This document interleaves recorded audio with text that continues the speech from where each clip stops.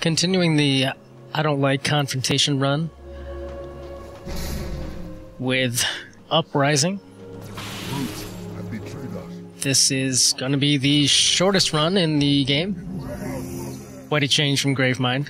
Um, this one's under five minutes.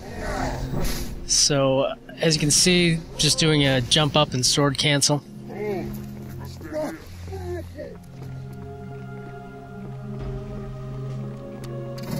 This part right here, you really don't need to get that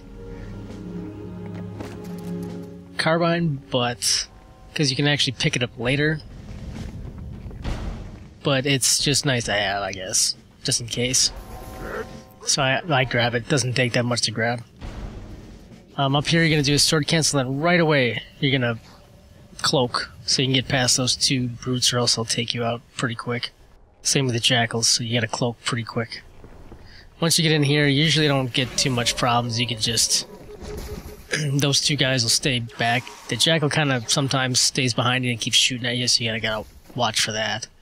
Um, by the time you get down here, your cloak should be recharged, so you can just go past that guy.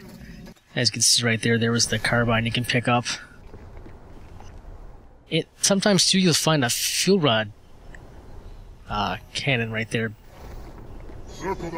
If you do, you can just grab that because you don't want to grab it. There's one right there, so we're gonna grab that one. Usually, when you get in here, those guys don't follow you out. I don't know why that guy decided to this time, but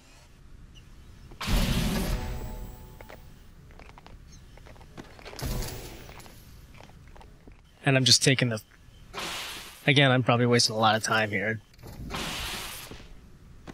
You don't have to keep swapping weapons, moving them up here. I just do it because at the end of the level, you want to keep your carbine and your sword on you.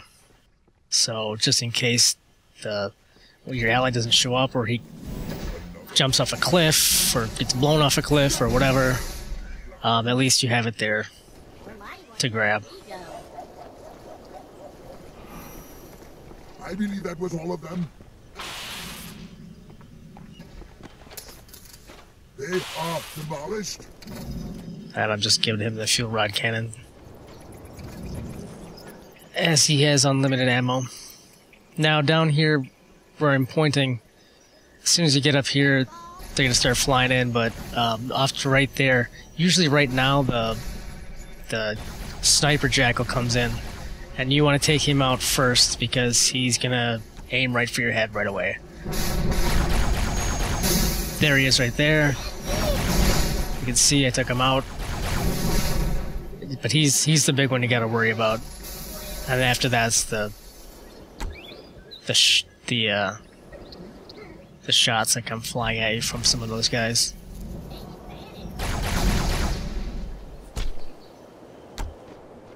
Amazingly, I kept one guy alive. Usually, they're all dead by this time.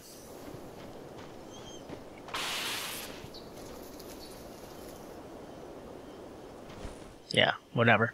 Um, so up here, uh, you're gonna grab a ghost and you're gonna go backwards. You're not gonna see the checkpoint because I had took me a couple tries to to do this uh, ghost jump, but uh, you're gonna want to go backwards until you see the checkpoint, just right here, and then um, then you can keep trying to do this trick because this this one usually takes a couple tries to do, especially if you're not used to it.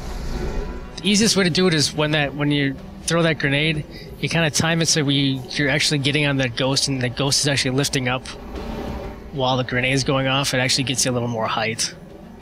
And then going off the side here, just try to stay upright as much as you can, and then go to the end of the thing. And I've died so many times where you'll see right on this clip, you'll end up falling in the ghost, and if you see that in the background, it's gonna make you do it all over again. Well, not all over, but back to that last checkpoint and that's kind of frustrating to get that spot exactly right. By the ring. But that's it. The councilors, are they Murdered by the brutes. vile? Slain